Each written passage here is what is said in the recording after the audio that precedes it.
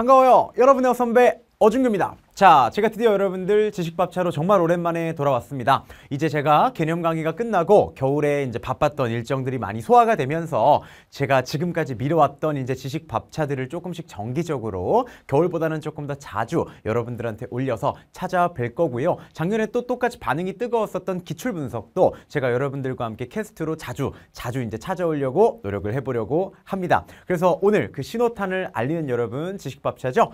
바로 삼성은 위기를 그렇게 그렇게 대처하지 않는다. 바로 우리나라 대표 기업이죠. 이 삼성과 우리나라 반도체 기업들의 성장 그리고 세계의 반도체 경쟁에 대한 여러분들 이야기를 준비를 했습니다. 아, 그 중에서도 제가 이제 작년도 이 삼성 conference call 우리나라에서 이제 언제 있었냐면 올해 초에 있었거든요. 1월 말에 이제 삼성의 conference call을 보면서 와, 정말 멋있다라는 생각을 내가 해 가지고 여러분들한테 꼭 해주고 싶은 말이 있었는데 그걸 바탕으로 여러분들한테 오늘 cast를 한번 준비해 봤습니다. 여러분들이 지금 보시는 시점에서는 우리 3월 학력평가가 한 3, 4주 정도 앞으로 다가온 시기이면서 또 두 번째 여러분들 입장에서는 이제 개학 시즌이잖아요. 그래서 가끔 이제 길거리 지나다니면서 중고등학생들이 학교 왔다 갔다 하는 모습을 보면은 얼굴이 다들 어둡더라고.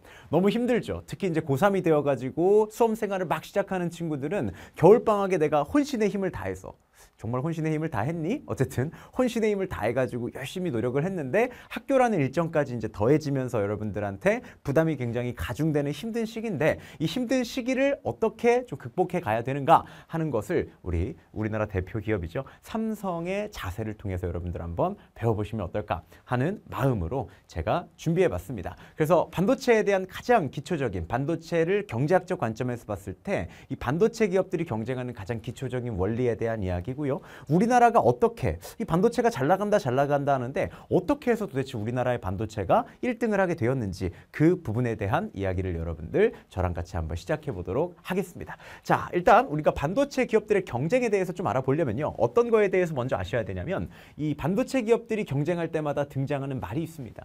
우리가 흔히 치킨 게임이라고 이제 부르는데 도대체 그 치킨 게임이라고 하는 게 뭐야 하는 개념을 여러분들이 이해할 수 있어야 되겠죠. 그래서 간단한 경제학적 개념부터 빠르게 빠르고 재밌게 설명해 드리면서 한번 넘어가 보도록 하겠습니다. 자, 치킨 게임이 도대체 뭐냐? 이 반도체 기사를 두면은 이 빠지지 않고 등장하고요. 요즘 나오는 이제 기사들에서도 종종 등장합니다. 새로운 제3의 반도체 치킨 게임이 시작되는가? 이런 이제 기사들이 굉장히 많은데 여러분 요거 한번 딱 봐두시면요. 반도체 관련된 기사들을 볼 때 여러분들이 보시는 시각이 달라질 겁니다. 일단 치킨 게임이 뭐냐? 근데 요즘은 많이 유명해진 개념이죠. 도대체 뭐냐 하는 거를 좀 경제학적으로 설명을 드리도록 하겠습니다. 우리가 치킨 게임을 이해하려면 규모의 경제라는 개념을 제일 먼저 이해해야 되는데 이 규모의 경제라고 하는 게 뭡니까? 영어로는 economies of scale 이렇게 이제 우리가 부르게 되는데 이 규모의 경제는요 간단합니다. 우리가 생산량이 증가하게 되면은 한 개를 생산할 때 들어가는 그 생산 단가가 감소한다라고 하는 개념을 우리가 규모의 경제라고 하는데 이렇게만 보면 딱 우리한테 와닿지 않아요. 아니 생산량이 늘어나는 거랑 도대체 하나를 생산할 때 들어가는 비용이 줄어드는 거랑 이게 무슨 관련이 있는 거야? 이게 이제 딱 와닿지 않을 텐데 제가 한 방에 여러분 설명해 드리도록 하겠습니다. 우리가 이제 네이버에서 물건을 구매한다고 여러분 한번 생각을 해봅시다. 3천원짜리 물건을 딱 하나 이제 구매를 해요. 그럼 피디님 네이버에서 물건을 3천원짜리 구매하면 우리가 반드시 뭐도 내야 됩니까? 그렇죠. 배송비를 내야 돼. 이 배보다 배꼽이 더 커요. 2천원짜리 하나 사는데 요즘 배송비가 또 올라가지고 2천원짜리 사는데 3천원이나 배송비를 내라 그런단 말이야. 이 주문할 때 보면 아깝죠. 분명히 내가 클릭할 때 2천원이었는데 결제할 때 5천원을 결제하게 되는 그런 마법이 발생하잖아. 배송비 아니겠습니까? 자, 이 배송비를 한번 생각해 봤을 때 내가 네이버에서 3천원짜리 물건을 한 개 구매한다고 여러분 한번 생각해 봅시다. 그럼 물건 값이 얼마요? 3천원이죠. 배송비가 얼마요? 6천원이죠. 아니 3천원이죠. 그러면 한 개를 구매할 때 들어가는 비용이 얼마입니까? 6천원이 되겠죠. 요게 뭡니까? 바로 평균 구매 비용이에요. 한 개를 구매할 때 평균 6천원이 들어가는 겁니다. 그런데 내가 두 개를 사본다고 한번 생각을 해봅시다. 두 개를 사면 어떻게 되죠? 물건값이 두 배가 들어가니까 6천 원인데 배송비는 여전히 어떻습니까? 두 개 산다고 그래서 더블로 받지는 않죠. 잘. 두 개 사면 똑같이 3천 원을 냅니다. 그럼 개당 얼마에 살 수 있는 거예요? 두 개를 9천 원에 사오는 거니까 한 개당 4,500원에 살 수 있겠죠. 마찬가지입니다. 세 개를 사면 9천 원. 배송비는 3천 원. 얼마가 됩니까? 개당 4천 원에 살 수 있겠죠. 네 개를 사면 12,000원인데 배송비는 여전히 3,000원이니까 어떻습니까? 3,750원 개당 가격으로 살 수가 있겠죠. 그래서 어떻습니까? 내가 구매를 할 때도요. 많이 구매하면 많이 구매할수록 내가 구매할 수 있는 단가는 여러분들 내려간다라고 생각할 수 있겠고요. 이 물건을 만드는 사람 입장에서도 똑같은 개념이 적용돼요. 물건 하나를 더 만들 때마다 내가 늘어나는 비용도 있겠지만 그지? 물건을 한 개 더 만들고 두 개 더 만든다 그래서 노동자를 더 고용하나요? 그렇진 않죠. 노동자는 똑같이 고용하는데 그들이 일하는 속도나 일하는 그 빡셈이 조금 늘어날 수 있을 뿐이잖아. 똑같은 인건비를 주면서 생산량만 늘리게 되면 어차피 생산 개수에 따라 인건비는 가만히 있으니까 많이 생산하면 많이 생산할수록 어떻습니까? 한 개당 들어가는 인건비가 낮아지겠죠. 이런 걸 뭐라고 부르냐면 조금 어려운 경제학적 개념으로 이렇게 물건이 한 개 늘어날 때마다 늘어나는 비용 이거를 우리가 변동비라고 부르고요. 반대로 이렇게 배송비처럼 한 개를 사든 두 개를 사든 세 개를 사든 네 개를 사든 한 개 만들든 두 개 만들든 세 개 만들든 네 개 만들든 계속 일정하게 작용되는 걸 우리가 fixed cost 고정비라고 이제 부르게 됩니다. 이때 물건의 개수가 많아지면 변동비는 물건의 개수에 비례해서 증가하지만 고정비는 물건의 개수에 따라서 고정되어 있기 때문에 이 고정비가 물건의 개수에 따라 나눠지게 되면서 보통 어떻게 됩니까? 생산량이 증가하면 생산 단가가 감소하는 이런 규모의 경제 현상이 일어난다고 볼 수 있습니다. 어, 선생님 근데 물건을 100개 사면은 배송비가 증가할 수도 있잖아요. 물론 그렇죠. 그렇기 때문에 규모의 경제는 항상 어, 일직선상으로 쭉 생산량이 무한정 늘어날 때마다 무한정 비용이 계속 줄어드는 건 아니고요. 이것도 약간 주기가 있습니다. 그래서 일정 개수를 넘어가게 되면 어떻다? 투자비가 또 들어갈 수도 있고 또 사람을 더 고용해야 될 수도 있고 고정비가 들어가기 때문에 이 규모의 경제가 작용하지 않는 구간도 있지만 대체로 대체로 우리가 오늘 공부하게 될 이 반도체라고 하는 분야는요. 이 시설과 설비에 대한 고정 투자비, 즉 초기 투자 비용이 굉장히 크게 작용하는 사업이기 때문에 상대적으로 여러분들 규모의 경제가 꽤 길게 지속되는 여러분 특징을 가지고 있는 산업입니다. 그래서 산업 중에서도 반도체는 어떻다? 생산량이 증가할수록 단가가 감소하는 효과가 굉장히 극적으로 나타나는 산업 분야다. 이렇게 여러분들 생각하면 되죠. 그럼 선생님, 어, 치킨 게임은 뭔가요? 자, 치킨 게임을 이해하려면요. 일단 규모의 경제를 여러분들이 저랑 같이 지금 깔끔하게 이해했잖아요. 그러니까 요걸 바탕으로 기업 간의 경쟁을 살펴보면 됩니다. 자, 보세요. 규모의 경제에 따라서 기업들이 경쟁을 한다면 어떤 일이 벌어집니까? 자, 그러면 기업이 세개가 있다고 쳐볼게요. A 기업은 물건을 천 개 생산할 수 있는 capa, 능력을 가지고 있고요. capacity를 가지고 있고요. B 기업은 삼천 개를 생산할 수 있는 capacity를 가지고 있고요. C 기업은 오천 개를 생산할 수 있는 capacity를 가지고 있다고 해봅시다. 그럼 우리 PD님 당연히 A, B, C 중에서 누가 제일 물건을 싸게 생산할 수 있을까요? 당연히 C가 가장 싸게 생산할 수 있겠죠. 그래서 단가를 보면은 A는 100원, B는 40원, C는 30원에 생산할 수 있다고 생각을 해봅시다. 그럼 여기서 이 C 기업이 A, B 기업을 망하게 할 수 있는 방법은 아주 간단해요. 어떻게 하면 A, B 기업이 바로 망하게 할 수 있을까요? 그렇죠. C가 이제부터 얘기를 하는 거야. 야, 왜? 나 이제부터 물건 얼마에 팔 거야? 나 이제부터 물건 내 생산 단가 30원이거든? 나 물건 이제부터 30원에 팔게 라고 얘기한다고 생각해 보세요. 개당 30원에 팔게. 그럼 B는 어때요? 얼마에 만들어야 돼요? 40원에 만들어야 되죠. 근데 얘가 얼마에 팔아요? 30원에 팔죠. 그럼 어떻게 되겠습니까? B는 팔 때마다 10원씩 뭐예요? 적자를 보게 되겠죠. 얘는 더 심하죠. 어때요? 팔 때마다 얼마를 적자 봐요? 60원을 적자 보겠죠. 누가 먼저 망하겠어요? A, B, C 중에서? A가 제일 먼저 낮아빠지겠죠. A가 제일 먼저 낮아빠집니다. 이해되시죠? 그 다음 누가 낮아빠지겠어요? 그 다음 B가 낮아빠지죠. 그러면 누구만 남아요? 시장에? C. 반도체 5천 개 생산하는 가장 큰 규모를 자랑하는 요 C 기업 하나만 남게 되죠. 그럼 우리 PD님이 이 C 기업 주인이에요. A랑 B가 망했어요. 그럼 이제 개당 30원에 팔까요? 어 아니야 아니야 아니야. 어떻게? 어, 어. 아유 잘못 썼다. 30원이 아니었는데. 미안 미안. 영 하나 더 붙여서 사실 300원이었어. 하면서 이제부터 얼마에 팔면 돼요? 300원에 팔면 되겠죠. 그럼 어떻습니까? 이제까지 30원에 팔면서 이윤을 하나도 못 봤지만 뭐 하면 돼요? 이제부터 300원에 팔아가지고 얼마씩 이윤 보면 되겠어? 270원씩 이윤 보면은 30원씩 팔던 시절에 있었던 적자를 한 방에 그냥 만회해버릴 수 있겠죠 이게 반도체 기업에 작용되는 기본적인 생리라고 보시면 됩니다. 그래서 이 규모의 경제가 잘 작용되는 사업들에서는요. 대체로 이런 식의 경쟁을 굉장히 많이 하게 되는데 어쨌든 이 C 입장에서도요. 단가를 30원에 계속 팔게 되면은 이윤을 보지 못하잖아요. 근데 그동안 계속 회사는 운영해야 되기 때문에 이 C도 필연적으로 적자를 볼 수밖에 없는 구조가 돼버립니다. 그래서 이걸 30원에 팔면서 A랑 B를 무너뜨리는 동안은 C도 어때요? 출혈 경쟁을 경쟁을 하는 거고요. A 씨는 덧출혈 경쟁을 하게 되는 거죠. 그러니까 서로 피가 나지만 야 너 피나, 야 넌 더 많이 나 이제 이러면서 경쟁을 해가지고 어떻게 되는 겁니까? 마지막에 이제 혈액 부족으로 쓰러지는 순서에 따라서 제일 마지막까지 last standing, 어? 가장 마지막까지 서 있는 사람이 모든 winner takes all 모든 걸 다 가져가는 그런 형태의 경쟁이 일어나게 되는 거죠. 이걸 우리가 뭐라 그러냐면 치킨 게임이라고 부릅니다. 왜 치킨 게임이에요? 이 치킨이 우리가 먹는 그 치킨도 있지만 미국에서는 겁쟁이를 부르는 말인데 옛날에 이제 미국에서 갱들이나 이 폭주를 좀 즐기시는 그런 분들이 게임을 했는데 어떤 게임을 했냐면 자동차를 서로 이렇게 반대로 세워놓고 마주보고 세워놓은 다음에 서로 끝까지 달려와가지고 부딪힐 때까지 겨루는 그런 게임을 했대요. 즉 둘 다 부딪히면 어떻게 되겠습니까? 이렇게 둘 다 엄청나게 출혈이 있겠죠. 이렇게 멀쩡하게 한 조각으로 살아있을 수 없겠죠. 여러 피스로 이제 쪼개질 수도 있는데 이렇게 둘 다 서로 손해를 감수하고 경쟁을 해가지고 누가 더 용감한지를 겨루는 그런 사실 병신 같은 경쟁이라고 저는 생각하는데 어쨌든 그런 여러분들 목숨 걸고 이런 거 하시면 안 돼요. 아시겠죠?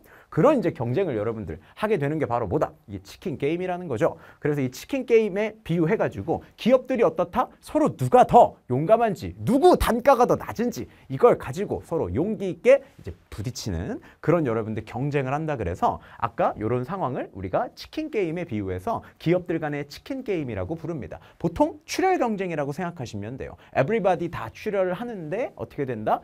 가장 출혈이 적은 애가 나중에 이겨가지고 모든 걸 갖게 되는 그러한 경쟁 질서가 뭐다? 바로 치킨 게임과 반도체 시장에서 굉장히 많이 벌어지는 경쟁이라고 볼 수 있겠죠. 이 반도체 시장의 역사를 이해하려면 그래서 이러한 치킨 게임이 어떻게 얼마나 언제 누구에 의해서 벌어졌는지 그런 것들을 여러분들이 잘 아실 수 있어야 됩니다. 자 그러면 우리가 이제 치킨 게임과 규모의 경제에 대해서 이해를 해봤으니까 이 반도체에 대한 이야기로 살짝 넘어가 봐야 되겠죠. 한국 반도체 역사에 대해서 우리가 들어갈 텐데 그 전에 살짝 여러분 중간 광고 한번 해보도록 하겠습니다. 자 제가 이번에 여러분들 우리 도표 특강을 여러분들 여러분들 이제 개강을 했습니다. 그래서 여러분들 이번 주부터 이제 도표 특강이 여러분들한테 개강이 되었고요. 도표 교재 아, 봄맞이 해가지고 굉장히 예쁘게 여러분들 이렇게 만들어 봤습니다. 제가 작년에 굉장히 감동받았던 수강평 하나 읽어드리게 되면 구평을 보기 전에는 선생님을 알게 되어가지고 2일 만에 시즌 1을 끝냈는데 시즌 1을 끝낸 이후부터 도표가 풀리기 시작했습니다. 아, 감동적이죠. 어, 실제로 그렇습니다. 이런 얘기를 하는 사람들이 굉장히 많아요. 왜? 저는 도표를 여러분들 그냥 문제를 풀어드리는 게 아니라 여러분들이 문제를 풀 때 반드시 거쳐가야 되는 과정을 다 절차화시켜서 여러분들한테 제공해 드립니다. 그렇기 때문에 스텝 1, 2, 3, 4 제가 하라는 대로 따라오면요. 반드시 여러분 도표가 풀리게끔 만들어 드립니다. 애들이 자주 하는 얘기가 있어요. 선생님 도표 강의는 더럽게 재미가 없어요. 맞아요. 제 도표 강의는 더럽게 재미가 없습니다. 왜냐하면 제가 막 이런저런 재밌는 얘기를 하면서 하면 제가 자꾸 계산을 틀려요. 그래가지고 전 정말 진지하게 진지 빨고 딱 수업하거든요. 대신 제 도표 강의를 들으시면 여러분들 뭡니까? 문제가 풀리는 희열을 여러분들이 반드시 느낄 수 있게 제가 도와드립니다. 그러니까 여러분들 도표 강의, 도표는 어준규 많이 믿고 여러분들 꼭 따라서 들어주시면 감사하겠다라는 말씀을 좀 드리고 싶습니다. 그래서 사회문화는 도표가 개강되어서 여러분들 열심히 개강하고 있으니까요. 많은 관심 부탁드리고요. 그래서 이 친구 이제 50점도 맞아봤대요. 하면 가능하더라고요. 맞습니다. 도표가 어려운 자들이요. 다 저한테 오십시오. 열심히 제가 하도록 하고요. 다음 두 번째죠. 제가 또 올해부터 윤리도 하지 않겠습니까? 아, 윤리. 생윤과 이제 윤사 강의를 개강하는데 생윤 같은 경우에 아, 제가 또 인상 깊은 수강평이 있었어요. 제목이 뭐였냐? 공부하기 싫을 때 보는 강의. 이게 제목이었어요. 근데 제가 진짜 놀란 게 이제 수강생 분포 보잖아요. 그러면 요즘 지식밥차가 안 올라오니까 지식밥차 대체용으로 생윤 강의를 이과생분들이 들으신다라고 하시는 분들이 상당히 많더라고. 그래서 제가 아, 이런 것들을 보면서 아, 여러분들이 진짜 공부가 많이 힘들구나 이런 생각을 그죠? 근데 그만큼 재밌다는 거죠. 그만큼 여러분들 뭡니까? 공부를 하는 게 아니라 TV에서 하는 인문학 예능 프로그램을 보는 느낌이 들 정도로 재밌고 제가 정말 재밌게 강의합니다. 생윤 특히 윤사 그리고 사문 개념 강의는 제가 여러분들 한강 한강이 지식밥차처럼 느껴질 수 있도록 최선을 다해서 진짜 열심히 찍고 있습니다. 그런 걸 잘 알아주는 수강평이어서 너무너무 여러분들 고마운 어, 수강평 중에 하나였는데요. 어쨌든 여러분들 정말로 제가 개념 강의만큼은 이건 사문 윤리 다 포함해서요. 모든 개념 강의는 제가 진짜 지식밥차처럼 열심히 찍고 있습니다. 그러니까 공부가 재미없는 자들 오셔가지고 여러분들 제 강의 들으시고요. 이과생분들도 생윤 같은 거 나중에 들어두시면은 면접이나 이럴 때 도움이 될 수 있으니까요. 어, 간간히 여러분 공부하기 싫을 때마다 클릭해서 들어와 주십시오. 그 제가 올해 이제 사실 요건 비밀인데 기획하고 있는 것 중에 하나는 이과생분들을 위해서 나중에 이제 특히 의대 준비하시는 분들이 많으니까 이 메디컬 분들 같은 경우에 MMI 면접 보시는 분들 많잖아요. 그래서 그럴 때 혹시 우리가 한번 참고해 볼 수 있는 윤리적인 내용을 여러분들한테 소개해 드리는 이 지식밥차를 좀 만들어 볼까 강의의 형태로 그런 것도 제가 고민하고 있으니까요. 여러분 많은 성원 부탁드리겠습니다. 여러분들의 수요에 따라 제가 열심히 이 지식밥차 그리고 재밌는 강의 많이 만들어 낼 테니까요. 앞으로도 여러분들 많이 지켜봐 주시면 감사하겠습니다. 그래서 여러분 여기까지 우리 광고는 마치고요. 이제 진짜 한번 들어가 봐야 되겠죠? 바로 어디? 한국 반도체 역사로 한번 들어가 보도록 하겠습니다. 자, 이 한국 반도체 역사 언제부터 시작되나요? 이 한국 반도체 역사는 상당히 여러분 느립니다. 미국 같은 경우에 반도체 역사 언제 시작됐나요? 우리 PD님 미국 하면 제일 유명한 그 반도체 기업 뭐 있어요? 그렇죠. 우리 컴퓨터의 대부분 다 인텔 거 쓰지 않습니까? 요즘은 또 AMD의 시대다 이렇긴 하지만 이 인텔 같은 경우에는 언제부터 이제 반도체를 만들기 시작했냐면 대략 1960년대부터 이제 트랜지스터가 개발되면서부터 여러분 반도체라는 게 이제 시작이 되었죠. 그래서 이 트랜지스터를 개발한 이후에 60년대 중반 후반부터 이 미국에 있었던 누가 대학원생들이 모여가지고 그죠? 반도체를 막 만들다가 그 대학원생들끼리 모여가지고 반도체를 만들던 회사에서 그 회사가 또 쪼개지고 쪼개지고 쪼개지고 이래가지고 이 실리콘밸리라 그러죠. 캘리포니아 주변으로 해가지고 상당히 많은 이제 반도체 기업들이 들어오게 됐는데요. 우리나라는 그거보다는 상당히 늦습니다. 아시겠지만 60년대 중반이면은 우리나라는 뭐 그죠? 이 나라 상태가 말이 아니었던 그런 상태잖아요. 전후 복구하기도 굉장히 바빴던 그런 상태인데 뭐 반도체 트랜지스터가 뭔지 알겠습니까? 모르죠. 그래 가지고 어떻습니까, 여러분들? 우리나라는 조금 늦게 시작하는데요. 이런 한국이 도대체 어떻게 해서 이 반도체, 뭐 반도체도 분야가 여러 가지가 있죠. 뭐 이제 플래시 메모리라든지 디램이라든지 이제 우리가 이제 알고 있는 CPU 같은 그런 반도체들까지 되게 여러 가지 종류들이 이제 있는데 그런 종류들의 반도체 전쟁에서 어떻게 우리나라가 어쨌든 굉장히 독보적인 위치에 올라왔는지 그거에 대해서 한번 이야기를 해 보도록 하겠습니다. 자, 한국 반도체 역사 한번 들어가 보도록 할게요. 때는 언제냐? 80년대 초입니다. 정확히 말하면은 이 회장님께서 이런 걸 생각하기 시작한 건 아마 70년대였을 겁니다. 자, 우리나라 70년대의 주력 상품은 뭐냐? 우리나라 70년대 주력 상품은 보이세요, 여기? 1차 상품. 뭐예요? 보통 신발, 의류 같은 섬유 제품을 팔았던 시기가 여러분들 우리나라 70년대입니다. 우리나라 70년대에 굉장히 많이 수출했던 것 중에 하나가 여러분 많이 아시는지 모르겠는데 쥐 있죠, 쥐. 우리나라에 쥐가 많았어요. 그래서 쥐로 쥐를 잡아가지고 가죽을 떼가지고 뭘 만들어요? 모피코트를 만들기도 하고요. 옛날에 그런 얘기 들어봤나? 엄마가 머리를 길러가지고 머리를 잘라가지고 자기 자녀 고기를 사줬다 이런 얘기 들어본 적 없어요? 옛날에 막 어리, 어려웠던 시절에 어머니가 사실 머리가 잘리셨는데 그게 왜 머리카락을 잘라서 가발로 만들어서 팔고 뭐 한 거야? 그 돈으로 머리카락 판 돈으로 뭐 한 거야?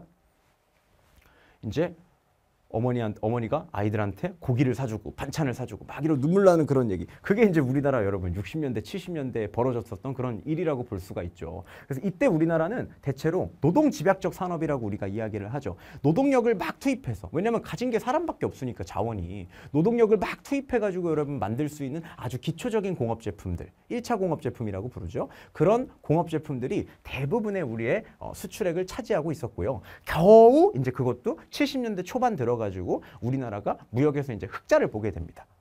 그래서 겨우 겨우 연명해가고 있던 그런 시절이었어요. 그때 누구?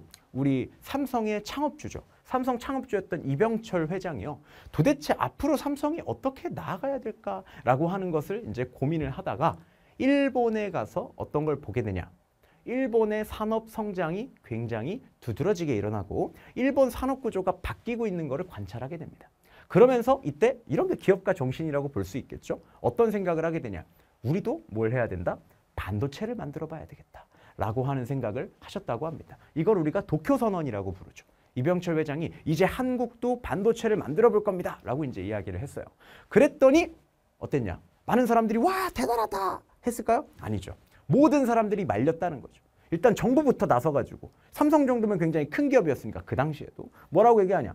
야 우리나라 지금 신발 만들어 팔고 있는데 신발 무슨 반도체야 뭐 이런 얘기 했겠죠.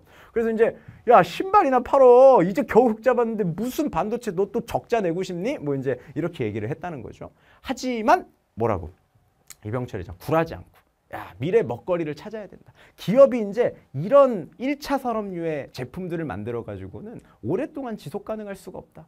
우리가 진짜 100년 가는 기업을 만들려면 피땀 어린 노력을 해 가지고 뭐 해야 된다? 반도체를 만들어야 된다라는 생각을 했다고 합니다. 그래서 어떻습니까? 미국으로 이제 연수를 가죠.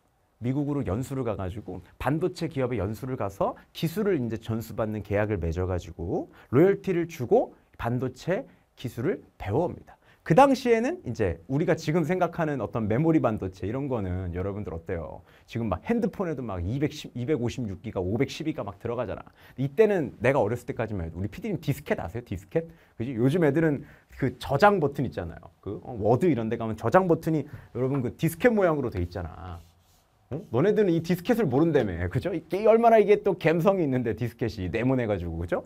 물론 저도 잘 몰라요. 저도 여러분들 CD 세대이기 때문에 사실 디스켓을 그렇게 많이 보진 않았습니다. 어쨌든, 어, 어쨌든 그렇다는 거죠. 그래서 무려 몇, 몇 킬로바이트냐면 64K D램. 그죠? 64K면 요즘 뭡니까? 한글 문서 하나도 제대로 안 들어가죠. 하여튼 엄청나게 작은 용량이지만 이 당시로는 나름대로 최신 기술. 이거를 개발하는데 몇 개월 만에 개발하냐?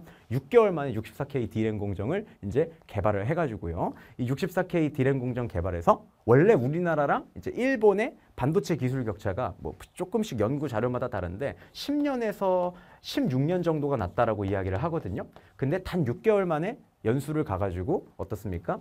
우리 기술자들이 열심히 배워온 거죠. 그죠? 저희 아버지 같은 경우에도 옛날에 공장장을 하셨는데 일본으로 연수 가가지고 이 철판 프레스하는 공정 같은 걸 많이 배워오셨대요. 근데 저희 아버지한테도 많이 얘기를 들었지만 그런데 가면은 그 연수를 해주는 애들이 우리나라 사람들한테 잘해줄까요? 잘 안 해줘요. 다 무슨 취급을 하냐? 산업 스파이 취급을 한다는 거예요. 그래서 일절 도면 같은 것도 절대 제공하지 않아. 그러면 저희 아버지도 맨날 얘기하셨던 게 낮에 가가지고 쫙 보고 오는 거야. 그 다음에 밤에 가가지고 뭐 하는 거야? 서로 너 이거 보고 왔어? 이거 보고 왔어? 해가지고 뭐 하는 겁니까? 도면을 같이 그려가지고 도면 완성해서 기계 만들고 공정 어떻게 진행하는지 몰래 다 보고 기록해가지고 나중에 옷에 숨겨와가지고 한국에 와서 그걸로 공정 개발하고 이런 눈물 어린 진짜 피땀 어린 노력들이 있어가지고 6개월 만에 기술 격차가 몇 년이 됐어요? 4년이 됐다는 거죠. 그래서 드디어 뭐 할 수 있게 된 겁니까? 우리나라도 우리나라의 독자적인 기술과 독자적인 생산 공정을 가지고 반도체라는 걸 처음으로 이제 수출해 볼 수 있게 된 게 여러분 80년대 초반과 중반의 일이다라고 이야기하시면 될 것 같습니다. 그래서 굉장히 늦게 시작한 후발 국가였지만 아주 빠르게 기술 격차를 줄여가지고 우리나라가 오게 되었다라고 이야기할 수 있겠죠. 그러니까 지금도 우리나라가 반도체를 굉장히 잘 만드는 이유가 뭐냐라고 하면은 뭐 외국의 기술을 적절히 여러분 잘 받아온 것도 있을 거고 외국 기술자들을 잘 사온 것도 있겠고 여러 가지 이유가 있지만 그만큼 근데 그런 것들이 가능하려면 우리나라에도 교육받고 훈련된 공학 인재들이 굉장히 많이 있어야 되는 거거든요. 근데 이 당시에도 그랬던 거죠. 우리나라가 어쨌든 교육 강국이니까 뭐 한 겁니까? 이런 것들을 바로바로 바로 받아들여서 이 실행에 옮길 수 있는 그런 인재들이 꽤나 많이 있었고 그런 엔지니어들이 있었기 때문에 지금 우리나라의 이런 발전이 여러분 가능했다고 이야기할 수가 있는 거죠. 아, 하여튼 존경스럽습니다. 그래서 우리나라가 어떻습니까, 여러분들? 드디어 기술 격차를 줄여서 독단적으로 반도체를 만들어 수출할 수 있는 그런 국가가 이제 되게 된 거죠. 근데 이거를 주변에서 가만히 보고 있을까요? 에이, 말도 안 되죠. 대표적으로 이때 어? 반도체를 열심히 만들고 있었던 나라가 누구냐? 바로 여러분들 우리가 싫어하는 일본이죠. 그죠? 일본 애들이 뭐 하고 있는 겁니까? 어, 이게 이게 이게 이게 기술을 쭉쭉 개발하더니 한 15년 걸릴 줄 알았더니 어때? 어쭈 6개월 만에 지금 기술 격차를 이렇게 줄이면서 따라오는 거야. 그러니까 어떻습니까? 이 일본이 바로 이제 첫 번째 부릉부릉 치킨 게임의 시동을 거는 거죠. 치킨 게임 어떤 시동을 걸어요? 우린 이미 개발비 회수했어. 그러니까 뭐 할 거야? 무진장 공급을 늘려서 공급이 늘어나면 가격이 어떻게 되겠습니까? 떨어지겠죠. 공급을 늘려서 가격을 떨어뜨려 가지고 뭐 하겠다? 한국은 이제 막 공장 지었으니까 물건을 팔아서 공장 지을 때 만든 빚을 이제 갚아야 될 거 아니야. 그죠? 그러니까 뭐 하게 만들겠다는 거예요. 가격을 무한정으로 낮춰 가지고 경쟁해 가지고 아까 우리 봤었던 치킨 게임처럼 한국 공장들을 싹 다 망하게 해버리겠다. 라는 작전을 들이밀면서 어떻습니까? 일본이 저가 공세를 펼치기 시작을 하는 거죠. 그래서 4달러. 이 디램 가격이 하나에 이제 4달러 선이었는데 8개월 만에 일본이 계속 무한정으로 공급을 하니까. 왜? 얘네는 이미 공장을 지을 때 들어간 고정비가 다 회수가 됐기 때문에 딱 변동비만 들어가면 되는 거야. 이 반도체 만들 때 어? 들어가는 재료값만 내면 반도체를 만들 수 있는 그런 사정이었던 거죠. 그러니까 무한정으로 공급해가지고 어떻습니까? 디램 가격을 거의 반년 만에 0.4달러, 10분의 1 수준으로 급락을 시켜버립니다. 근데 우리나라는 어떻습니까? 이렇게 되면은. 반도체 하나 만들 때 아직 공장 고정비도 회수가 안 됐잖아요. 그러니까 팔면 팔수록 계속 적자를 보는 구조가 이어지게 되는 겁니다. 어 그럼 우리나라 어떻게 해요? 망했나요? 놀랍게도 근데 그죠? 우리나라가 망하기보다 먼저 망한 애들이 있었어요. 그게 바로 누구였냐면 어, 당시 삼성 반, 삼성의 반도체 원가가 1.7달러였기 때문에 엄청난 출혈을 보고 있었는데 그래서 아이고 나중에 이제 누워야 되겠다 뭐 이런 생각을 하고 있었는데 먼저 누운 기업이 하나가 있었습니다. 그게 누구냐? 바로 인텔이었죠.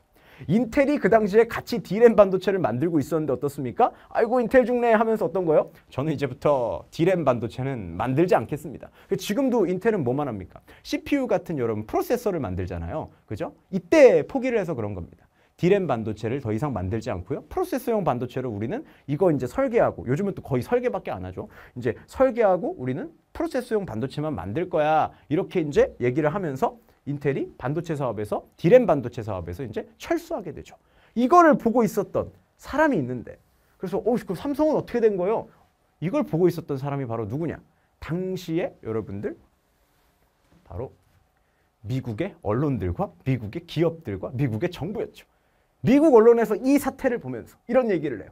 이것은 마치 제2의 펄 하버다. 어, 여러분 우리가 생각했을 때 진주만 습격하면 우린 그냥 그렇잖아요. 근데 이 미국인들한테는 정말 미국인한테 미안한 말이지만 이 진주만 습격은 약간 발작 버튼 같은 거라고 볼 수 있어요. 약간 그 뭐랄까 일본 애들한테 원폭을 얘기했을 때 어떠한 걔네들의 트라우마 어? 미국인들한테는 그 트라우마가 뭐예요? 진주만. 어? 우리나라 사람들한테 그런 어떤 버튼은 뭐예요? 독도 문제라든지 뭐 이런 거 있잖아요. 그죠? 이런 거. 일본 식민지배 막, 아! 막 열내잖아요. 똑같은 문제입니다. 그죠? 근데 미국 언론이 뭐라 그런 거야? 이것은 마치 제2의 진주만 습격이다. 일본이 어? 무진장 낮은 가격으로 우리나라 반도체 기업들을 도산에 끌기 위해서 지금 습격을 하고 있는 거다. 이런 비열한 놈들 막 이렇게 때리기 이제 시작을 하는 거죠. 막 때려요. 그럼 당연히 정부가 나서야 되겠어요? 안 나서야 되겠어요? 아유, 원래 이제 인텔이 그죠? 일본 정부가 정부 조직적으로 어떻게 합니까? 낮은 가격으로 반도체를 만들려고 이제 막 유도를 하니까 인텔이 당해내지 못하고 이제 철수를 한 건데 미국 언론에서 이제 막 진주만 습격이다 막 이런 식으로 떠드니까 이제 일본이 당황하기 시작하죠. 어? 어, 저희는 그 진주만을 습격할 그런 의도는 없는데 우리는 그런 건 아닌데 왜 갑자기 우리가 막 습격을 했다 그러지? 일본도 깜짝 놀랐을 거 아니에요. 그 진주만 습격 이런 얘기하면 오 그래? 우리는 그런 의도는 아니었는데 우리 지금 한국이 막 쳐들어와서 그런데 어때요? 이런 얘기를 하고 있을 때 바로 이제 그 당시 미국 대통령이 누구예요? 시원시원하기로 유명한 어? 레이건 대통령이죠. 레이건 대통령이 바로 이제 얘기를 하죠. 뭐? 일본 놈들이 진주만 습격을 해? 일본에서 진주만 습격했다 어떻게 됐어요? 나중에 원자폭탄 두 방이나 맞고 투항하잖아요. 레이건 대통령이 이제 딱 이렇게 얘기를 하게 되는 거예요. 너 이제 이 전범놈들이 이 자식들이 어디 보자 관세 몽둥이가 어디 있더라 뒤적뒤적 하는 거죠. 관세 몽둥이가 뭐죠? 관세 몽둥이를 모르시는 분들은 그죠? 이 면접만 봐도 자동차를 주던 국가가 있다 이런 캐스트 한번 보고 오시면 됩니다. 달러 2편을 보고 오시면 관세 몽둥이 정확히 이해하실 수 있는데 일단 레이건 대통령이 관세 몽둥이를 쳤습니다. 관세 몽둥이가 뭐냐? 일본이 엄청나게 저렴한 가격으로 미국에다가 반도체를 팔아먹으니까 어떻게 하겠다는 거예요? 불공정한 경쟁이라는 거예요. 너 이 자식들 왜 이렇게 가격을 인위적으로 낮춰? 정부가 개입해서 낮춰? 너 이거 조작국이야? 가격 조작이야? 이제 이렇게 하면서 어떻게 하는 겁니까?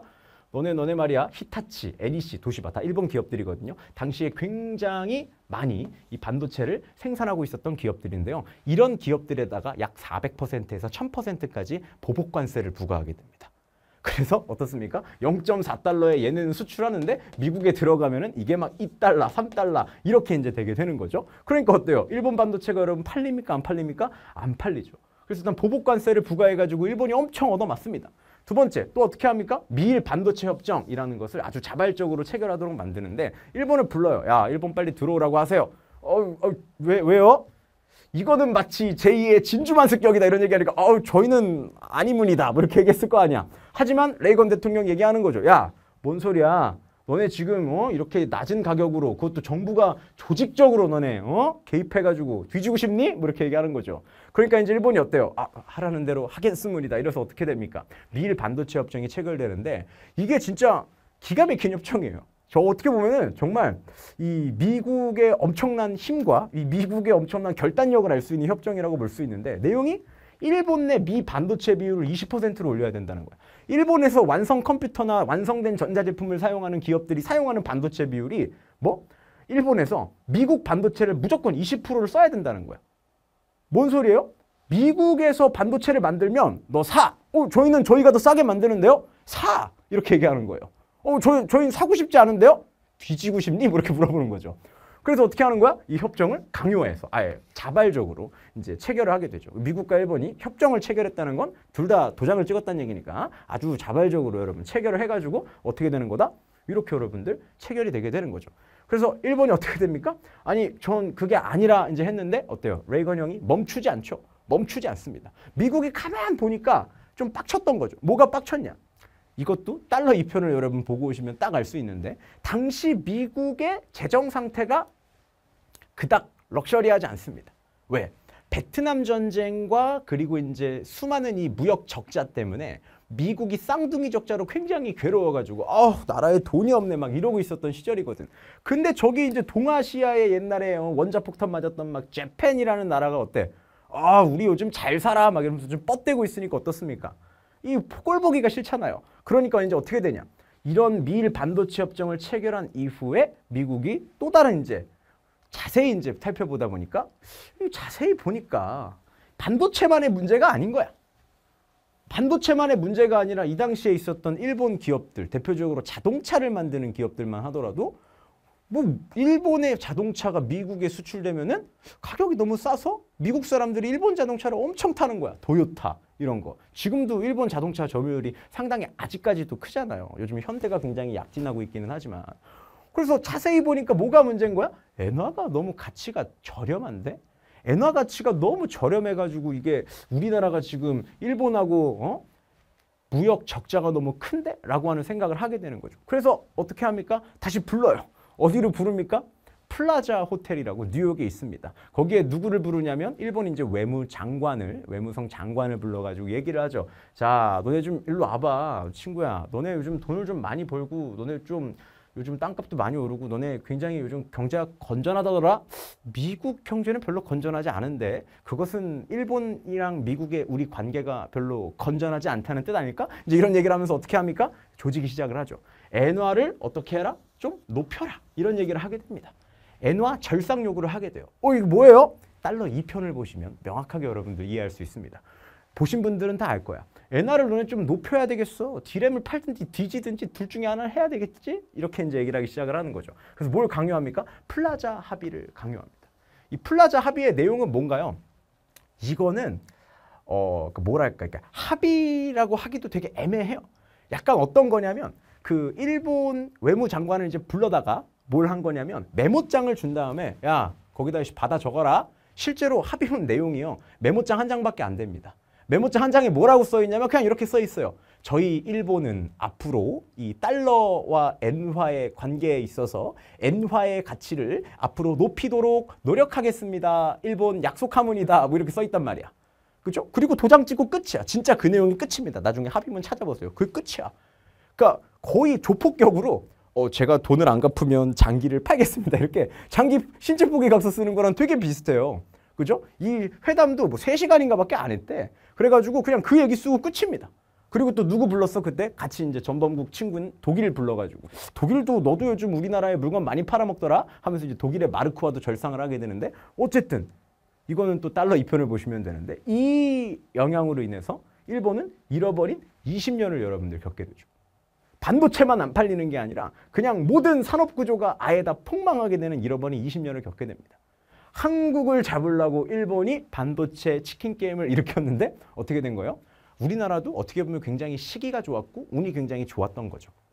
왜 우리나라는 열심히 반도체를 팔지만 미국의 견제를 받지 않았습니까? 그 당시에는 우리나라의 경제력이 뭘 따라오지 못했기 때문이야. 아직 미국과 경쟁할 정도의 수준도 아니었고 아직 미국을 넘어설 정도의 수준도 아니라고 판단을 했던 거죠. 일본은 반면 그 당시에 이미 미국의 GDP의 50% 정도를 따라가는 G2 국가였으니까 미국의 입장에서 일본을 좀 견제해야 될 필요가 있겠다라는 필요성을 느꼈겠죠.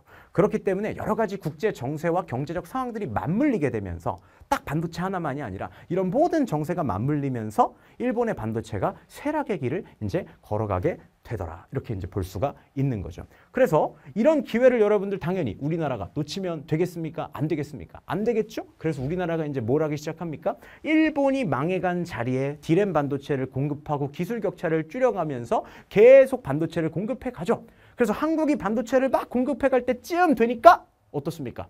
또 누구의 심기가 불편하겠어요? 또 미국의 심기가 불편하겠죠. 아니 일본 놈들 이렇게 해가지고 이제 어? 열심히 뭐 했는데 밟아놨는데 한국에서 이제 아 이때가 바로 기회다. 어? 공장을 더 지어가지고 가격 경쟁력을 높여서 우리 일본이 하려고 했었던 거를 우리가 한번 해보자. 많이 지어가지고 뭐하자? 앞으로 우리도 싸게 공급해보자. 이런 이제 전략을 세우기 시작을 합니다. 누가? 삼성 참여주 이병철 회장이. 이때 이건희 회장은 이, 이건희 전 회장은 뭐니, 뭡니까? 이재용 회장 아버지는 이 당시에 이제 삼성전자의 또 부회장이었어요. 그래가지고 이병철 회장을 따라다니면서 같이 이제 반도체 사업에 관여를 하기 시작하는데 이 당시에 이제 이병철 회장이 일본이 이렇게 나가리가 되는 걸 딱 보면서 어 지금 더 지어야 될 것 같은데 했는데 사실 이때 한국의 상황이 그렇게까지 좋지는 못했대요. 왜? 일본이 나가리 됐어도 아직 누가 건재해요? 미국에 있는 반도체 기업들이 워낙 건재하고 아직 기술 격차도 나는 상황이었기 때문에 우리나라 반도체 공장들이 다 적자를 보고 있었던 상황이라는 거죠. 그래서 이병철 회장이 어떠냐? 당시에 이렇게 공장을 더 짓자. 기흥에다가 이렇게 이제 이야기를 하니까 많은 임원들이나 사람들이 반대를 했다는 거예요.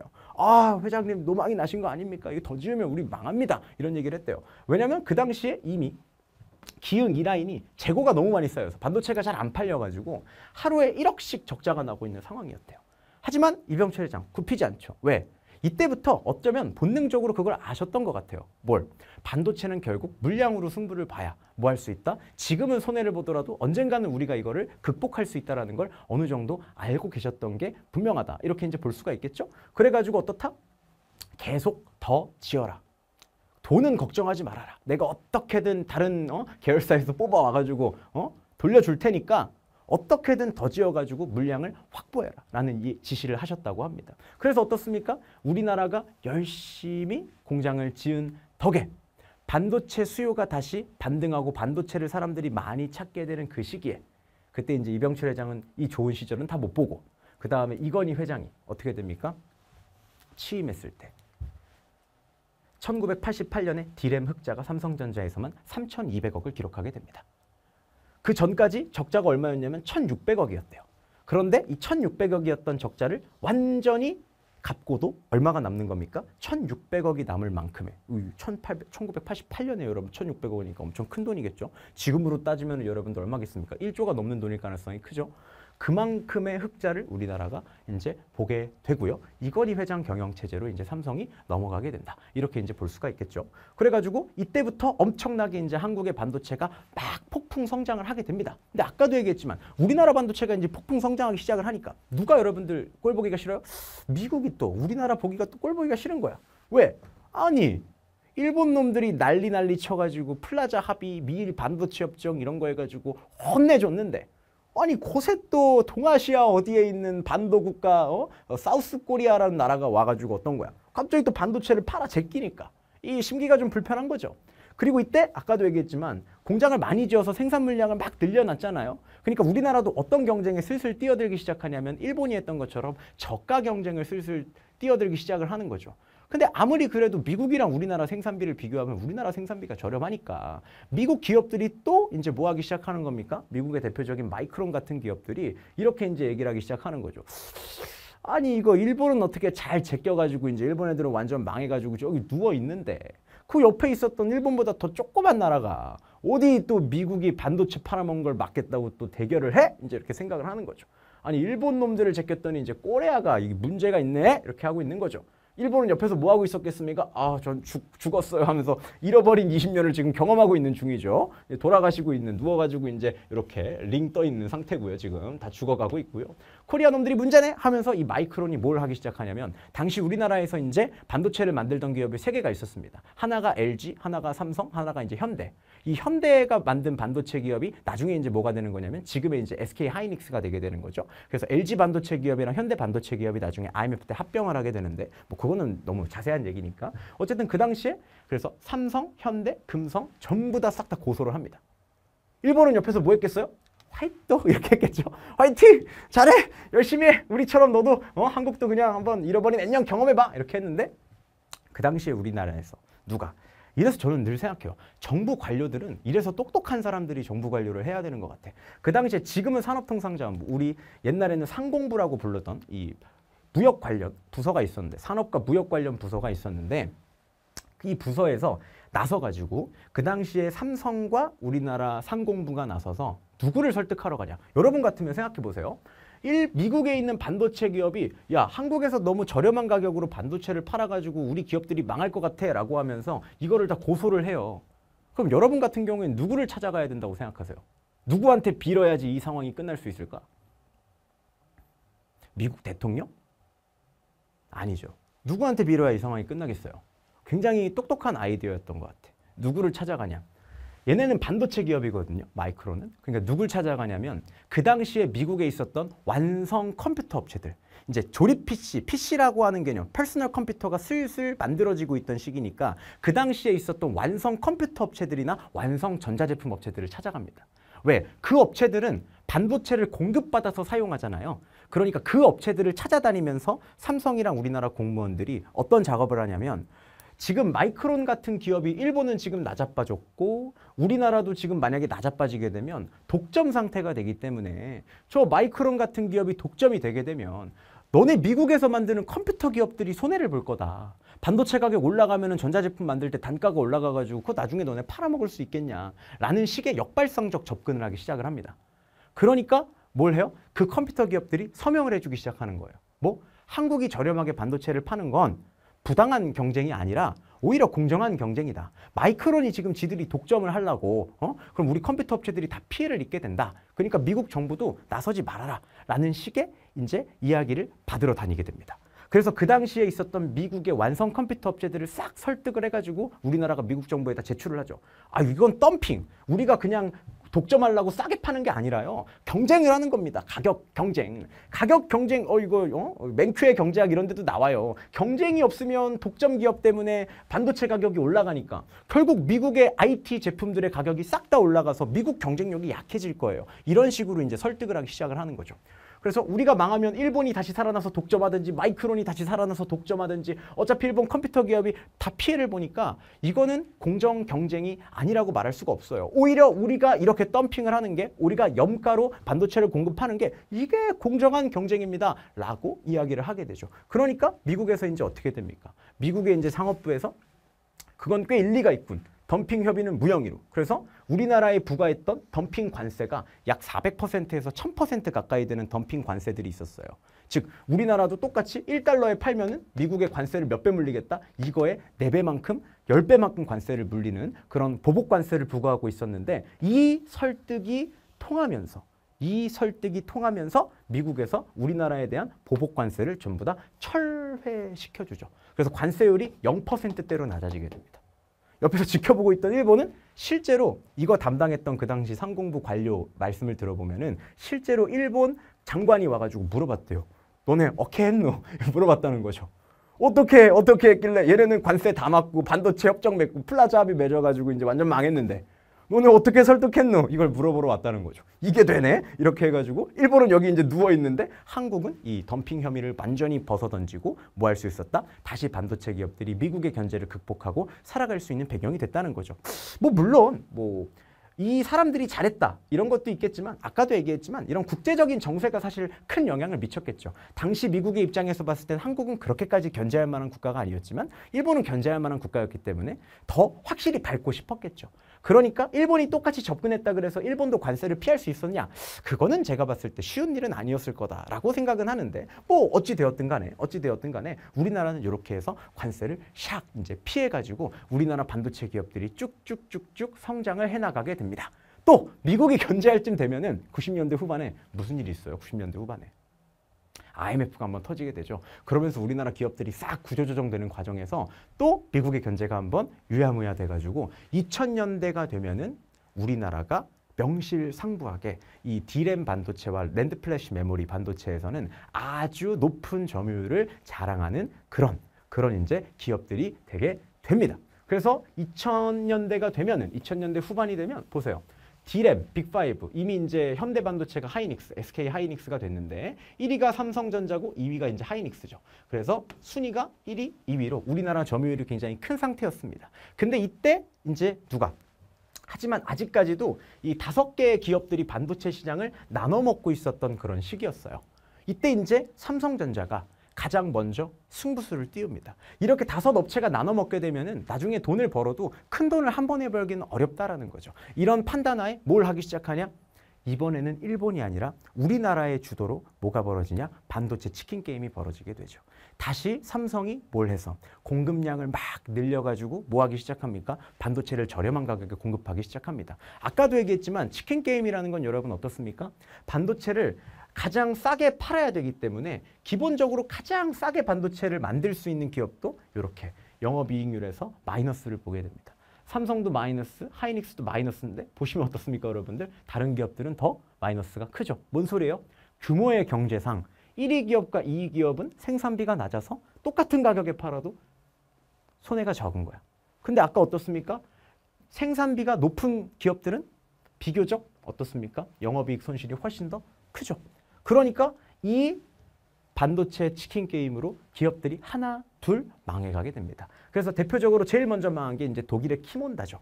원래 독일에서도 디램 반도체를 만들었었는데 지금은 이제 독일이 디램 반도체를 만들지 않고 뭘 생산합니까? 노광 장비라 그래가지고 EUV 장비라고 부르죠. 반도체에 이제 이거 stack을 새기는 그 장비, 그죠? 그 장비를 만들죠. ASML이라 그래서 굉장히 유명한 기업이 있는데 이때 이제 독일은 디램 반도체 생산을 포기합니다. 우리는 그냥 반도체 장비나 열심히 만들게요. 이렇게 해가지고 이제 어, 지멘스나 ASML 같은 기업은 반도체 관련 장비를 만 드는 기업으로 완전히 이제 틀어지게 되고요. 디램 반도체를 더 이상 만들지 않아서 경쟁자는 하나 제낍니다.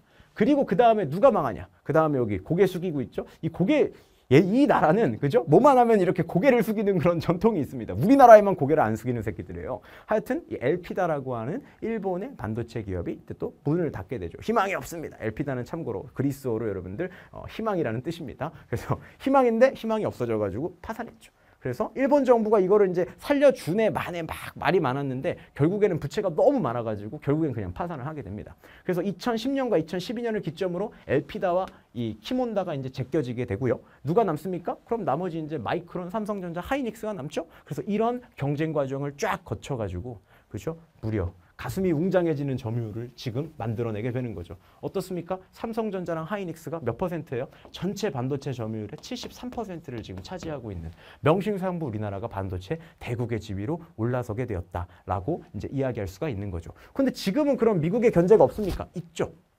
있는데 사실 지금 미국의 포커스는 사실 누구한테 훨씬 더 많이 가 있어요? 중국한테 훨씬 더 많이 가 있죠. 왜? 왜냐하면 우리나라가 반도체를 많이 생산하는 거는 어떻게 보면은 미국 입장에서 눈에 가시일 수 있겠지만 만약에 중국이 치고 나와 가지고 반도체 기술을 가지고 세계적으로 반도체를 점유해 버리게 되면 중국은 굉장히 공급 체인이 불안정한 나라예요. 왜? 나라가 모든 것을 통제하는 국가이다 보니까 어떻습니까? 상대적으로 나라의 외교 정책이나 나라의 국가적 시책에 따라서 반도체 공급이 미국한테 끊어지는 경우가 생길 수가 있겠죠. 그러니까 사실 만약에 중국이 아무것도 없이 쥐죽은 듯이 조용히 있었다면 우리나라도 유탄을 맞을 가능성이 굉장히 크지만 지금 점유율이 상당히 높은 상태이기 때문에 근데 지금 사실 미국의 관심은 우리나라 반도체 점유율이 높은 것보다는 오히려 중국이 반도체를 더 많이 점유해가지고 중국이 반도체를 점유해서 미국한테 나중에 반도체를 가지고 협박하지 않게끔 만드는 게 가장 이제 중요한 미국의 사실 관심사죠. 그러니까 미국이 어떤 문제에 자꾸 개입을 하는 거예요? 대만 문제에 자꾸 개입을 하는 거죠.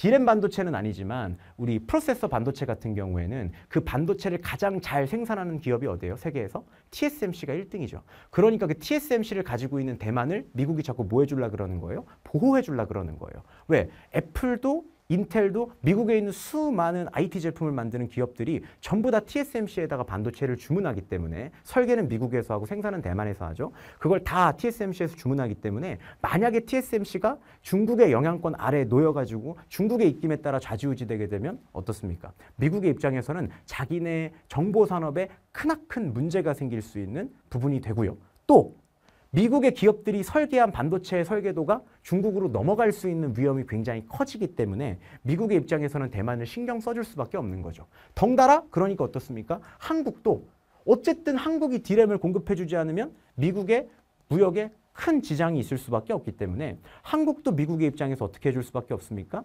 잘해줄 수밖에 없는 거죠.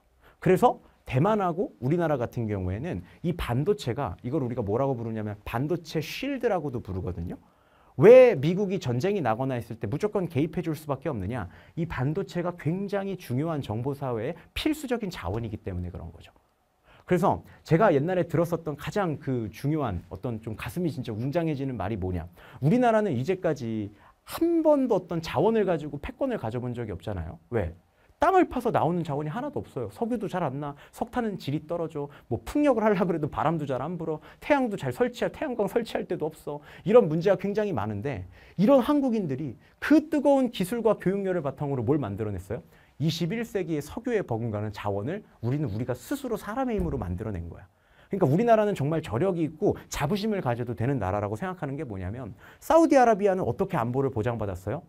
사우디아라비아는 땅을 파서 나오는 석유를 가지고 안보를 보장받았어요. 우리나라는 뭘로 안보를 보장받아요? 아무것도 나오는 게 없고 사람밖에 없으니까 그 사람들이 머리를 짜내서 뭘로? 이 반도체로 지금 국제사회에서 강한 영향력을 행사하고 있는 나라가 된 거죠. 이게 기업의 문제가 아니라 국가의 안보의 문제랑 아주 밀접한 자원을 우리는 우리 사람의 힘으로 여러분 만들어낸 국가니까 이 국가에서 살아가는 우리는 충분히 그에 대해서 자부심을 가질만 하다라고 저는 생각을 합니다. 어쨌든 정말 가슴이 웅장해지는 그런 점유율을 여러분들 갖게 되는 거죠. 삼성전자 18%의 점유율에서 43% 하이닉스 30%죠.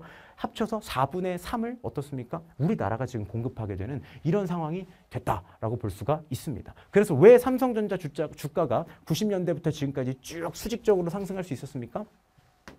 바로 요것 때문에 가능한 일이었다. 이렇게 여러분들 이야기해 볼 수가 있겠죠. 그런데 그런데 이런 삼성도 요즘은 굉장히 많은 위기감 속에서 보내고 있습니다. 도대체 뭐 때문에 삼성이 강한 위기감을 느끼고 있느냐? 뭐 너무 단순하죠.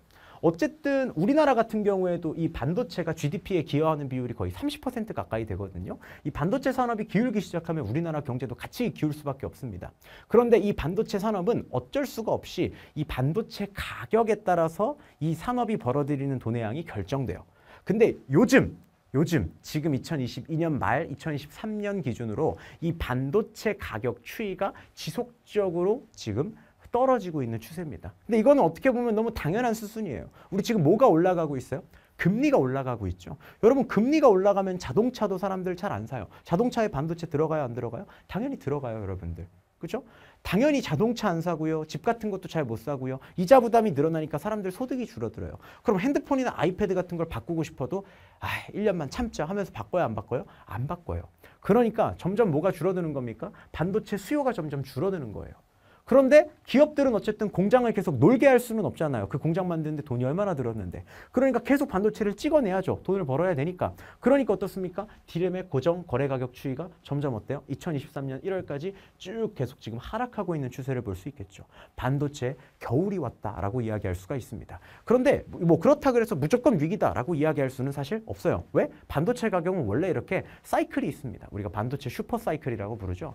수요가 막 올라갈 때, 즉 기업들이 이제 서버를 바꿔야 될 때나 갑자기 정보 산업이 부흥하면서 서버 이용량이 늘어나거나 정보 이용량이 늘어나면 기본적으로 디램 반도체도 그 수요가 늘어나기 때문에 점점 점점 점점 거래 가격이 올라가게 되는 추세를 갖게 되는데 어쨌든 지금의 가장 중요한 문제는 이 경기 침체가 앞으로 계속 오래 갈 것 같다는 점 그리고 메타같이 페이스북이나 인스타처럼 이 서버를 굉장히 많이 쓰는 기업들도 점점 투자를 줄이고 있다는 점. 우리 얼마 전에 기사 나오잖아요. 카카오 같은 기업도 어떻습니까? 막 재작년, 작년에 데이터 센터 엄청 지었지만 이제는 어때요? 채용까지 줄여가면서 허리띠를 졸라매고 있잖아요. 이제 겨울이 온 겁니다. 우리가. 금리가 인상되는 시기가 왔기 때문에 그렇기 때문에 이 겨울을 버티기 위해서 기업들이 제각기 이제 이 힘든 시기를 버티기 위한 방안들을 발표하죠. 그게 뭡니까? 그게 이제 컨퍼런스 콜이라 그래서 기업들이 보통 1, 4분기, 2, 4분기, 3, 4분기, 4, 4분기마다 자기 실적들을 발표하면서 앞으로 향후 계획에 대해서 이야기를 하는 그런 날이 있습니다. 그래서 그날 하이닉스가 이제 발표를 하는 거죠. 아우 저희는 이제 감산합니다. 생산을 줄이겠다는 거예요. 하이닉스가 이게 조그마한 기업이 아니라 엄청 거대한 기업이잖아요. 이런 기업들이 감산을 하면 여러분 어떻습니까? 어마어마한 양을 감산하고 어마어마한 사실 그 매출의 감소가 이어지는 거예요. 하지만 그럼에도 불구하고 감산을 한다는 거죠. 왜? 지금 디램 가격이 어떠니까? 너무 낮기 때문에 이거 지금 생산해서 계속 팔아도 우리 입장에서 손해가 될 게 뻔하니까 감산을 하겠다는 겁니다. 겨울잠을 준비하는 거죠. 분야는 다르지만 SK랑 삼성은 디램 반도체랑 NAND flash가 주류고 TSMC는 보통 프로세서를 이제 생산하는 역할이니까 반도체를 생산하는 TSMC도 우리도 투자를 줄일 계획이다라고 이제 슬슬 발표를 하고 있죠. 업황이 계속 기울어지고 있으니까. 그럼 이럴 때 어떻게 이제 선택을 하냐? 힘들다고 힘드니까 우리는 움츠려들 것이냐? 여기서 이 삼성, 이 삼성 인류의 자세가 여러분들 나온다라고 저는 생각을 하는데 1월 31일이죠. 삼성이 컨퍼런스 콜에서 이렇게 발표를 합니다. 다들 지금 실적이 안 좋고 이제 경기가 둔화되고 하기 때문에 우리는 뭐 할 거다. 겨울잠을 잡니다. 막 이런 얘기하는데 야, 안 될 때 잠잔다고 해결되니? 이렇게 얘기하면서 우리의 삼성 이렇게 얘기를 하죠. 삼성은 실제로 한 말입니다. 위기를 그렇게 대응하지 않습니다. 라고 이야기를 했어요. 어, 저는 이 말을 들으면서 진짜 가슴이 웅장해지더라고. 그러니까 저는 뭐 삼성의 경영 승계 과정 뭐 이런 거 포함해 가지고 삼성이라는 기업을 그렇게 좋아하진 않아요. 그죠? 하지만 이 말 자체는 너무 훌륭하고 너무 배울 점이 많은 말이라고 생각했어요. 삼성은 위기를 그렇게 대응하지 않는다는 거죠. 어, 어떻게 대응하는데 그럼 너네는? 삼성 이야기하는 거죠. 이 다음에 이제 뭐라고 얘기했냐. 꽉 잡으세요. 반도체 겨울이지만 우리는 달립니다. 이제 이야기하면서 이렇게 얘기하는 거예요. 첫째, 일단 디램 메모리 반도체 관련해 가지고 미래 수요 대비 미래의 수요가 있을 거니까 우리는 뭐 할 겁니까?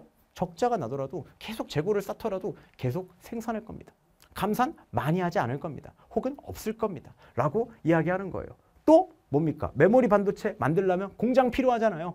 지금 다른 기업들은 어때요? 고, 있던 공장도 안 돌린다는 건데 삼성은 어떻습니까? 저희는 공장을 더 지을 겁니다. 라고 이야기를 합니다. 두 번째, 선단 공정 대응을 위해서 또 이제 첨단 공정을 대응하기 위해서 어떻대요? 평택 공장 capacity, 생산 능력을 확대할 겁니다. 생산 능력을 확대합니다. 이게 뭐 얼마나 어떻게 이제 확대가 되는 건가요, 선생님? 이게 이제 여러분 굉장히 중요한데 어디 공장 지금 capacity를 확대한대요? 평택 공장 capacity를 확보한, 확대한대요. 지금 현재 시점 기준으로 여러분들 평택에 이 반도체를 돌릴 수 있는 라인이 몇 개가 있냐면 세 개가 있습니다. P1, P2, P3 해가지고 총 세 개 공장이 지금까지 이제 들어서 있는데요. 오, 공장이 어떻게 생겼어요, 선생님? 이 공장을 이야기하기 전에 요즘 여러분들 평택 가끔씩 제가 이제 얘기를 듣다 보면은 그런 얘기가 나와요. 어, 선생님 요즘 어, 어, 노가다도 돈을 굉장히 많이 준다고 하던데 이 요즘 우리 한국에서 가장 뜨거운 그 노가다 판이 어디냐면 평택 고덕이라고 여러분 들어보셨는지 모르겠는데 그런 말이 있대요. 코인을 잃었거든 평택 고덕을 봐라 뭐 이런 얘기가 있다던데 코인이나 주식으로 돈을 많이 잃으면 어 평택 고덕 가면 노가다로 돈을 많이 주니까 거기 가서 일해라 이런 말이 있다라고 여러분 할 정도인데 그 제가 실제로 구글에 검색을 해보니까 평택 고덕 치니까 어때요? 고덕 신도시 고덕 반도체. 어, 세 번째가 뭐예요? 평택 고덕 노가다. 바로 뜬단 말이야. 바로 떠요. 왜 뜨는 거냐? 삼성에서 아까 얘기했잖아요. 평택의 생산 능력 어, 향상을 위해 노력하겠다. 공장을 짓는데. 이렇게 생긴 공장이에요. 이 공장을 몇 개를 짓냐? 아까 얘기했잖아요. P3가 세 번째 공장인데 22년에 완공됐고요. P4 네 번째 공장이 23년 이제 완공이 될 거라고 예상이 되고 있고요. P5가 23년 이제 착공을 하고요. 올해 착공을 하고요. P6까지 어떻습니까? 다른 기업들은 공장을 뭐 하는데? 어, 우리 이제 감산할 거예요. 겨울잠 갑니다. 이러고 있는데 어떻습니까? 계속 투자를 해가지고 뭐 하겠다? 보여주겠다라는 거죠. 뭘? 우리는 공장이 말이야 이렇게 커. 선생님 이게 뭐 얼마나 큰 거예요? 이게 여러분들 얼마나 크냐면요. 무려 축구장 여러분들 25개 크기입니다. 어, 얼마 안 되는 것 같은데요? 이게 다 축구장 25개라고 하지 않았어요. 요만큼이 축구장 25개 크기입니다. 이거 요거 하나가. 요거 하나가 축, 구장 라인 한 개당 축구장 25개 크기고요. 그런 라인이 지금 몇 개가 들어선다는 거예요. P6까지 6개가 들어선다는 거죠. 축구장 150개 크기에 공장을 어마어마하게 지어가지고 우리가 어마어마하게 생산량을 늘리겠다라고 발표를 한 거죠. 남들은 다 겨울잠 잔다고 하는데. 그렇죠? 왜요? 그러니까 삼성은 지금 다시 뭘 시작할 준비를 하는 거예요? 아까 얘기했죠. 생산량이 늘어나면 투자비는 많겠지만 뭐가 떨어집니까? 한 개를 생산하는 단가가 떨어지죠. 모든 사람들이 투자를 멈추고 모든 사람들이 더 이상 생산을 하지 않을 때 우리는 생산해서 뭐 하겠다? 단가를 낮춰서 단가의 효율성을 높이겠다. 너네가 1달러에 생산하면 우리 공장 크기 보이니? 너네가 1달러면 이게 이제 여러분들 이 반도체 라인 하나가 세계 최대 크기거든요. 근데 그런 걸 6개를 지금 평택에다 때려 박는 거예요. 그럼 여러분 생각을 해보세요. 우리 생각을 하는 거지. 다른 기업들에서. 우리는 이거 하나 돌리는데 생산비가 지금 1달러인데 얘는 이걸 6개를 돌릴 수 있네? 그럼 얘네의 생산비는 도대체 얼마지? 이런 생각이 들 거 아니야. 왜 이런 짓을 하는 겁니까? 우리가 1등이고 너네는 1등이 아니고 우린 1등인데도 이렇게 생산 공장을 더 짓고 있는데 너네가 과연 나의 생산비를 따라올 수 있을까? 너네 한번 자신 있으면 덤벼봐 라고 하는 게 바로 1등의 자세인 거죠. 내가 1등이니까 이걸 지키는데 급급할 거야가 아니라 더 짓겠다는 거예요. 그래서 뭐 하겠다는 거예요? 한번 덤벼보라는 거죠. 우리의 뭐는 생산비는 너네의 절반의 절반도 안 될 거야. 너네가 과연 우리랑 경쟁해서 이길 수 있을까? 그냥 포기하렴 이렇게 얘기하는 거죠. 이게 1등 삼성의 여러분들 경쟁 방식입니다. 그리고 TSMC보다 빠르게 3나노 공정을 돌입했는데 뭐 수율이 그렇게 좋진 않다는 얘기가 그래서 제가 가지고 있는 삼전 주식이 안 오르나 뭐 그런 생각이 살짝 들긴 하는데 뭐 어쨌든 열심히 이제 이렇게 반도체 겨울에 대비하는 자세를 가지고 있다는 거죠. 그래서 아주 신난 사람들이 있죠. 누가 신났냐? 바로 평택에 있는 지자체 공무원들이 아주 신났겠죠. 왜? 우리나라 요즘 인구가 이제 감소한다 하는데 평택은 어떻습니까? 인구가 수직적으로 이것만 보면 뭐 거의 개도국이에요. 그 인구 증가율이. 그래서 거의 수직적으로 인구가 증가하고 있죠. 다 뭐 때문입니까? 코인으로 잃었거든. 평택 고덕을 봐라라는 그 격언 때문에 수많은 사람들이 이곳으로 달려간 그 원인이죠. 진짜 거짓말 안 치고 아침 출근길에 강남만큼 차가 막힌대요. 진짜로. 너무 사람이 많아가지고 자전거 막 가끔 제가 몇 가지 글을 막 읽어보는데 자전거로 출퇴근하면은 자전거가 진짜 바닷물처럼 밀려든대요. 진짜 그렇대. 그 정도로 여러분들 지금 평택은 완전 활황이다. 이렇게 이제 이야기할 수가 있겠죠. 어쨌든 이게 바로 누가? 삼성이 여러분들 겨울잠, 겨울잠을 위해 대처하는 방법이다. 이렇게 여러분들 우리가 생각해 볼 수가 있다는 거죠. 그래서 제가 여러분들한테 말씀드리고 싶은 건 뭐냐. 뭐 다른 건 아니고요. 그냥 이런 얘기예요. 이것만 보더라도 여러분 충분히 가슴이 웅장해지지 않습니까? 이 수많은 과정을 거쳐오면서 우리나라가 1등을 하기까지 어떻게 달려왔어요? 안주하지 않고 계속 가면서 또 때로는 나에게 손해가 될 것 같지만 또 때로는 나에게 조금 힘든 결정이 될 것 같지만 그것들을 꾹 참으면서 계속 많은 성과들을 진짜 양자 점프, 퀀텀 점프 하듯이 계속 이뤄왔죠. 그렇지 않습니까, 여러분들? 이게 저는 어, 아주 우리가 배워야 되는 인류의 자세라고 생각을 합니다. 단순히 이 기업에 대해서 뭐 이 기업이 좋은 것 같아요, 나쁜 것 같아요. 그런 가치 평가는 차초하고요. 이 기업이 그냥 걸어온 길만 우리가 객관적으로 봤을 때, 이 기업이 양적으로 성장해 온 그 길을 우리가 객관적으로 봤을 때 힘듦에 대처하는 인류의 자세다라고 하는 걸 우리가 배울 수가 있다는 거예요. 뭡니까? 인류는 힘들다 그래서 움츠러들지 않는다는 거죠. 여러분도 저는 좀 마찬가지의 자세를 가져야 돼요. 여러분은 어떻습니까? 삼성은 이미 인류입니다. 그런데도 이렇게 적극적으로 대처하고 힘들지만 피하지 않죠. 도전을. 그리고 계속 도전하고 성공하고 갈고 닦고 어떻습니까? 성장하죠. 여러분은 인류를 목표로 하는 사람들이잖아요. 여러분도 인류가 되고 싶어서 공부하는 거잖아요. 그렇지 않습니까? 그럼 우리도 어때야 됩니까? 요즘 계약을 다시 해가지고 혹은 내가 재수를 할지 몰랐는데 N수를 할지 몰랐는데 다시 공부를 하기 시작해서 힘들죠. 얼마나 힘들겠습니까? 강사도 힘들어요. 2월 말쯤 되면은 슬슬 지쳐가는 시기입니다. 당연히 여러분들도 지칠 거라고 생각을 합니다. 하지만 힘들 때, 지칠 때 인류는 어떤 식으로 대응하는가? 이 기업이 정말 잘 보여주고 있다는 거죠. 이 기업이 정말 잘 해내고 있다는 거죠. 우리도 그러면 인류가 되고 싶은 사람으로서 어, 저는 인류는 아닌데요. 그러면 뭐 할 수 없고 하지만 인류가 되고 싶고 내가 계속 성장하고 싶은 사람이라면 우리가 이 힘듦에 어떻게 대처해야 되는지를 이 과정을 통해서 우리가 한번 배워볼 수 있지 않았을까. 여러분이 충분히 마음속에 새겨볼 수 있는 내용이 아닐까라는 생각을 여러분 합니다. 힘들다고 움츠려드는 것이 아니라 계속 이 힘듦에 도전하고 계속 이 힘듦에도 불구하고 한 발자국을 나아가려고 노력하는 그러한 자세가 우리를 앞으로 뭐하게 만들 것이다. 더욱더 성장하게 만들 것이다. 그러니까 여러분 지금 많이 힘들겠지만 이럴 때 한 걸음, 두 걸음, 세 걸음, 네 걸음 뚜벅뚜벅 걸음을 걸어가는 여러분들 사람이 되어서 결국엔 여러분들 인류가 되어서 웃는 얼굴로 여러분들이 인류의 어, 삶과 인류의 생활을 할 수 있도록 그렇게 여러분들 마음가짐을 더 잡고 우리가 열심히 앞으로 더욱더 채찍질을 해서 달려갈 수 있으면 좋겠다라는 말씀을 드리면서 오늘의 캐스트 마치도록 하겠습니다. 여기까지 오늘의 지식 밥차였고요. 여러분들 저는 또 금방 멀지 않은 시기에 지식 밥차로 다시 돌아오도록 하겠습니다. 그럼 여러분들 안녕.